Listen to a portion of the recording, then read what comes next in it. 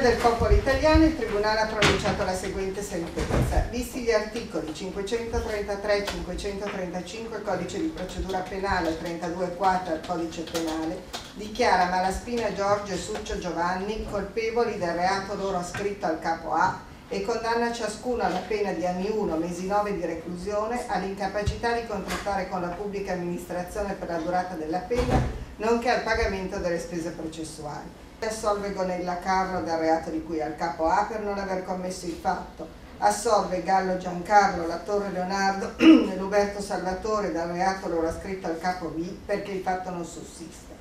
L'impianto accusatorio ha retto pacificamente, per cui direi che sono soddisfatto. L'utilità grande di questo processo eh, è stata quella di attivare tantissime persone che hanno deciso, eh, che magari prima appunto non se n'erano interessati, che hanno deciso di agire civicamente eh, contro la corruzione. La società civile ti è stata al fianco, le istituzioni?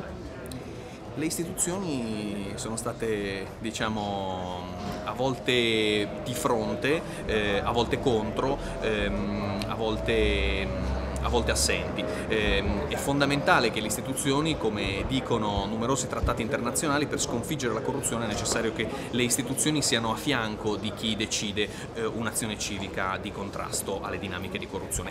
Le condanne, a mio giudizio, sono ingiuste perché l'agente provocatore, al di là di qualsiasi eh, polemica processuale, non può sollecitare, istigare, eh, sostanzialmente eh, eh, creare il fatto di reato. Ti ritieni un agente provocatore?